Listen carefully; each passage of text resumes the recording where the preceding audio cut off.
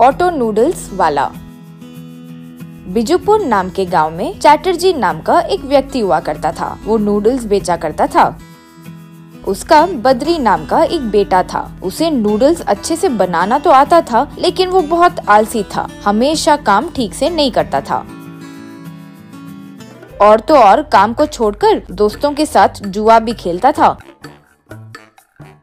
इससे एक दिन घर पर खाना खाते हुए बद्री के पास आकर चैटर्जी। रे शादी होने के बाद तो कम से कम बदलोगे सोचे थे लेकिन घर पर ही पड़े हुए हो। भैंस कहीं के ऐसे ही रहा तो व्यापार कैसे चलेगा? देखो अब तक जो मज़े कर लिए वो काफ़ी है। चुपचाप कल से काम पर लगो। तुम्हारे कस्टमर्स तुम्हारे बारे में पूछ रहे हैं।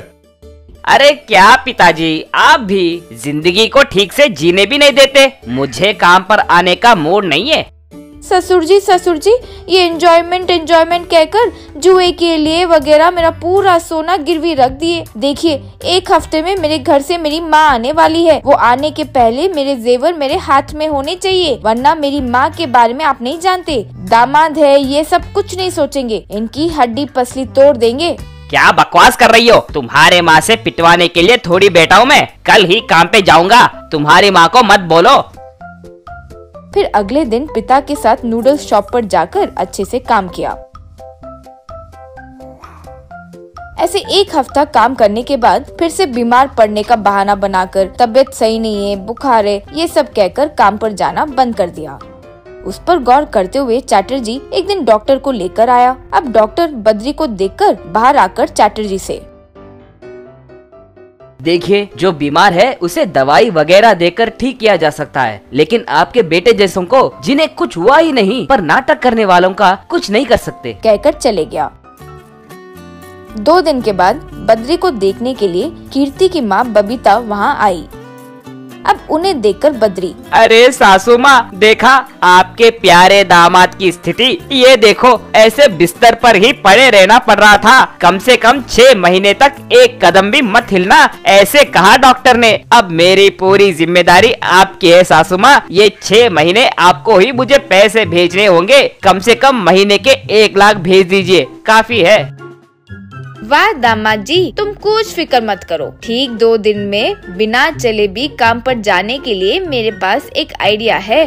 पूरी तरह सेट कर दूँगी तब मन में बदरी। ये क्या? सासू माँ ऐसे बात कर रही है? कुछ सेट कर देगी बोल रही है। कहीं इन्हें हमारे जुए के बारे में और जेवर की गिरवी के बारे में पता तो नहीं चल गया? फिर ऐसे ही दो दिन बीत गए। फिर एक ऑटो पर नूडल्स की गाड़ी सेट किया हुआ व्हीकल घर के सामने आया। बाहर खड़ा बद्री वो देखकर हैरान हो गया।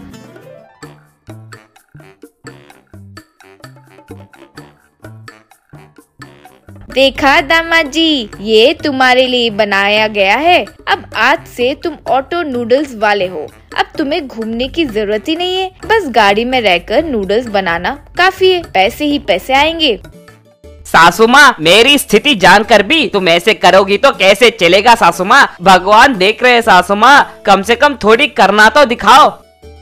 देखो दामा जी, मुझे तुम्हारे बारे में सब पता है। वही नहीं, तुम हमारी बेटी का सोना कहाँ कितना गिरवी रखे हो, सब तुम्हारे पिताजी ने आकर बता दिया है। अब मैं यहीं रहकर जब तक वो सारे पैसे नहीं भरवाती, मैं हिलूँगी भी नहीं। चुपचाप काम पर जाओगे या अंदर जाकर छड़ी लाकर मारना शुरू करूँ? कहने से बद्री कुछ नहीं कर सका और ऑटो नूडल्स पर बैठकर चला गया। उस दिन से लोगों के घर के पास ही जाकर ऑटो नूडल्स गाड़ी पर ही नूडल्स बनाना शुरू किया।